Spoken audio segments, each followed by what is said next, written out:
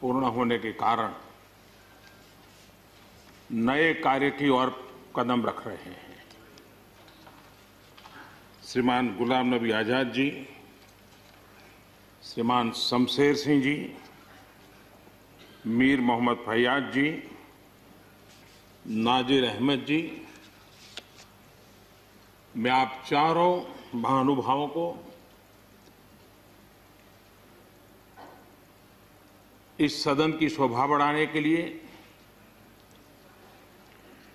आपके अनुभव का, आपके ज्ञान का, सदन को और देश को लाभ देने के लिए और अपने क्षेत्र की समस्याओं का समाधान के लिए आपने जो कुछ भी योगदान किया है, उसके लिए मैं सबसे पहले तो आपका धन्यवाद करता हूँ।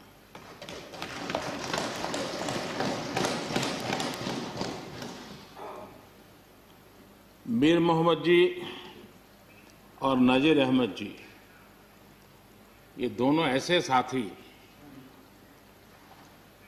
सदन में शायद उनकी तरफ़ बहुत कम लोगों का ध्यान गया होगा, लेकिन कोई भी सत्र ऐसा नहीं होगा कि जिनके साथ मुझे, मेरी चैम्बर में बैठ कर के अलग अलग विषयों पर सुनने का, समझने का मौका न मिला।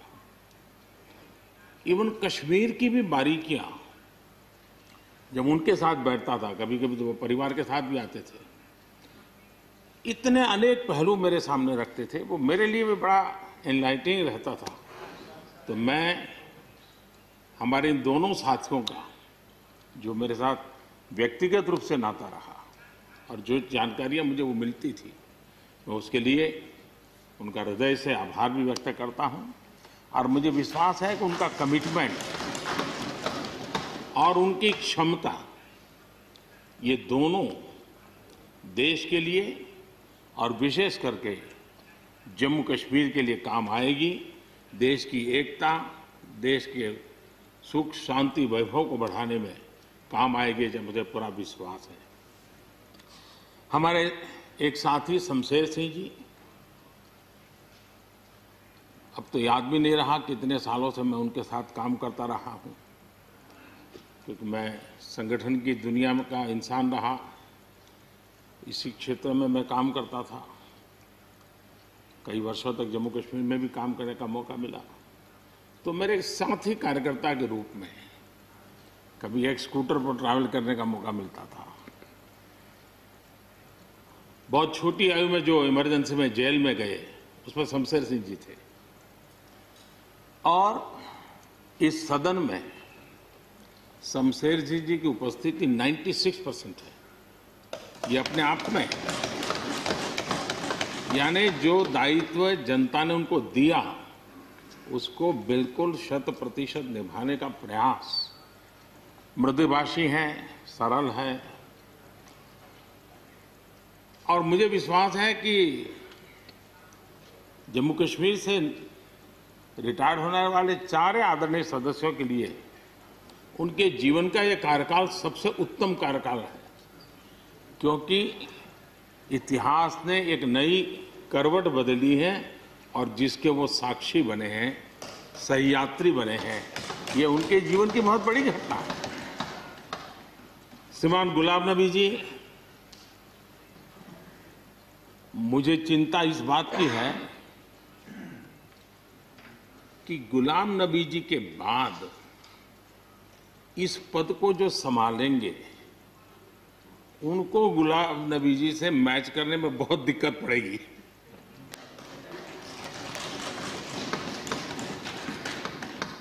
क्योंकि गुलाम नबी जी अपने दल की चिंता करते थे, लेकिन देश की और सदन की भी उतनी ही चिंता करते थे।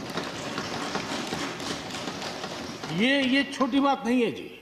ये बहुत बड़ी बात है जी। वरना अपोजिशन के लीडर के रूप में अपना दबदबा पैदा करना, ये सब मोह किसी को भी हो सकता है। लेकिन उन्होंने सदन से, मैं शरद पवार जी को भी इसी कैटेगरी में रखता हूँ।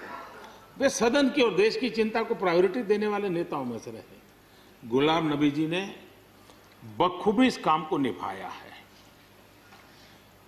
मुझे याद है, इस कोरोना काल में मैं एक फ्लोर लीडर्स की मीटिंग कर रहा था। तो उसी दिन गुलाम नबी जी का फ़ोन आया। तो मोदी जी, ये तो ठीक है, आप करते हैं, लेकिन आप एक काम कीजिए। सभी पार्टी लीडर्स की मीटिंग ज़रूर बुलाइए।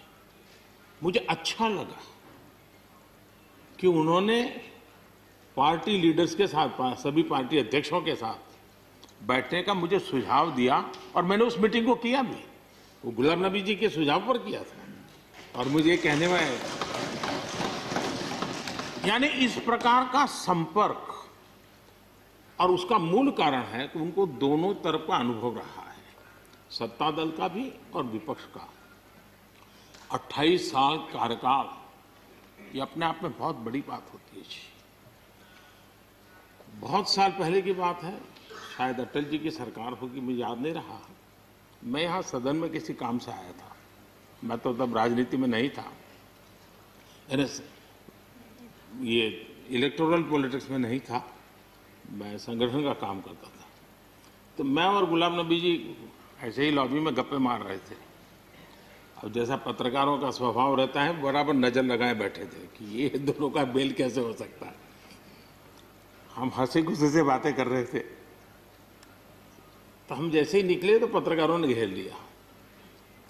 गुलाम नबी जी ने बहुत बढ़िया जवाब दिया था। वो जवाब हम लोगों के लिए बहुत काम आने वाला है। उन्होंने कहा, भाई देखिए, आप लोग हमको अखबारों में या टीवी माध्यमों में या पब्लिक मीटिंग में लड़ते झगड़ के देखते हो, लेकिन सचमुच में इस छत के नीचे हम जैसे एक परिवार का वातावरण कहीं नहीं होता है। इतनी हमारी आत्महत्या होती है, इतने सुख दुख होते हैं। ये जो स्पिरिट है, वो स्पिरिट अपने आप में बहुत बड़ी बात होती है। गुलाम नबी जी का एक शौक शायद बहुत कम लोगों को पता होगा। और कभी उनके साथ बैठोगे तो बताएँगे,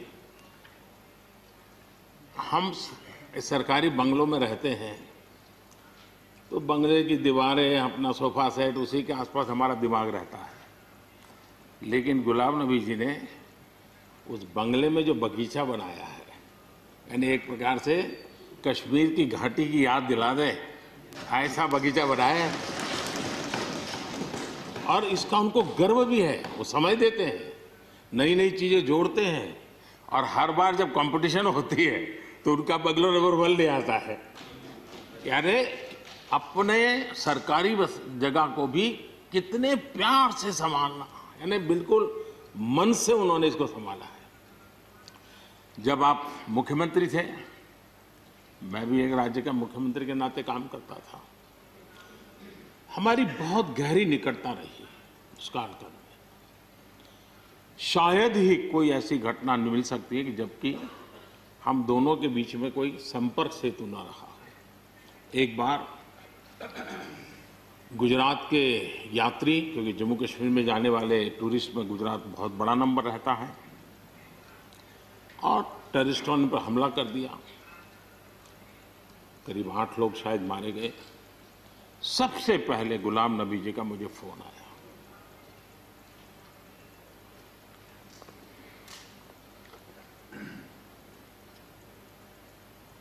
और वो फ़ोन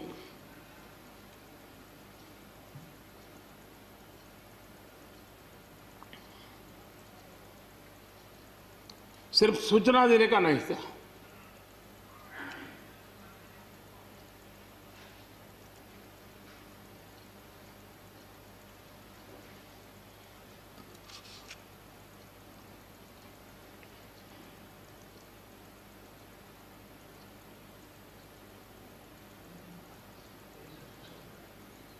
उनके आँसू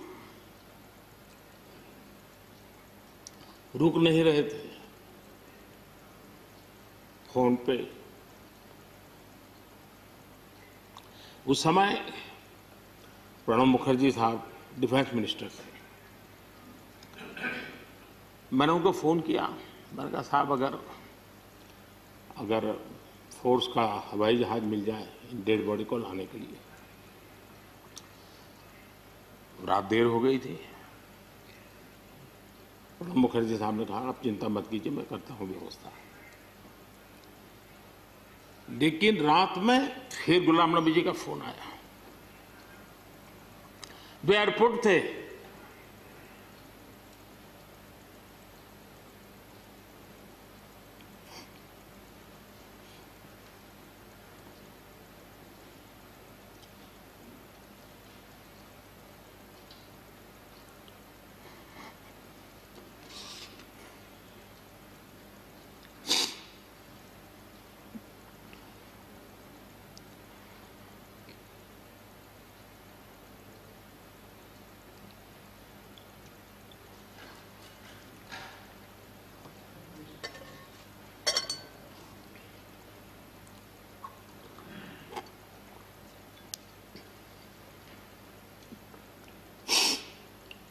सॉरी। उस रात को एयरपोर्ट से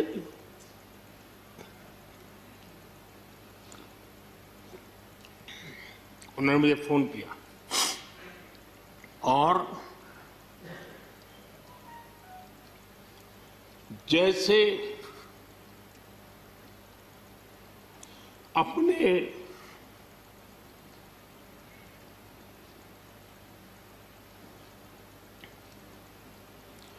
परिवार के सदस्य की चिंता करें।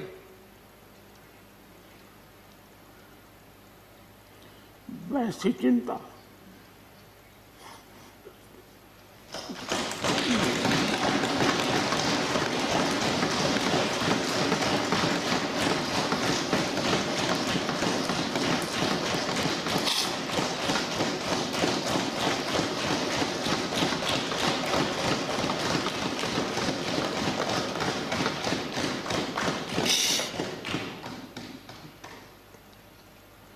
पद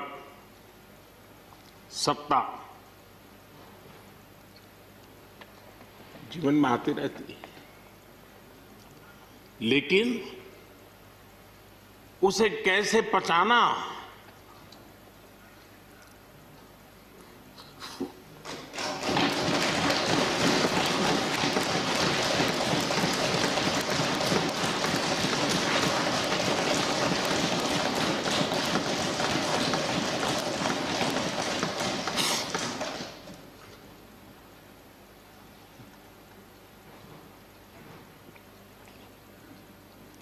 मेरे लिए बड़ा भावुक पल था।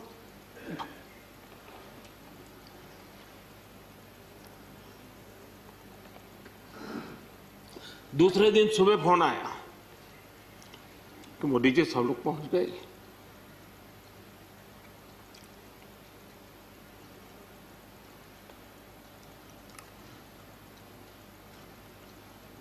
इसलिए एक मित्र के रूप में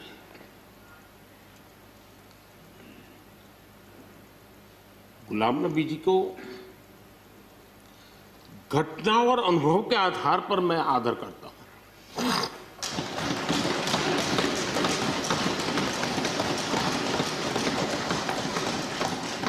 और मुझे पूरा विश्वास है कि उनकी सौम्यता, उनकी नम्रता, इस देश के लिए कुछ कर गुजरने की उनकी कामना, वो कभी उनको चैन से बैठने नहीं देगी।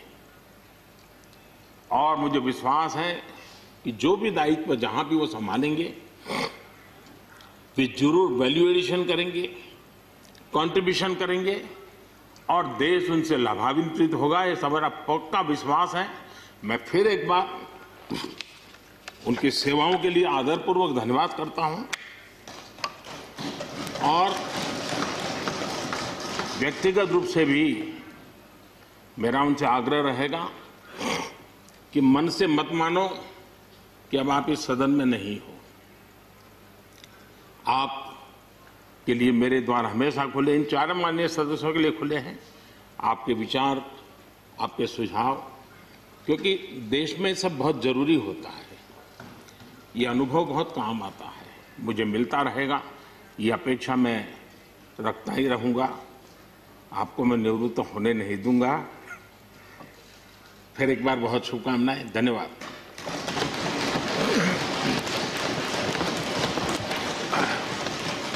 धन्यवाद प्रधानमंत्री जी। श्री शरद पवार जी। शरद पवार जी।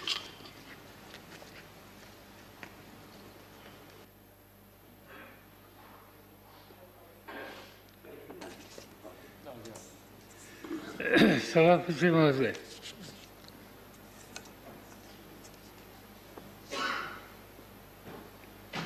आज का दिन? कई सालों से हमारे साथ और सहयोग देने वाले साथी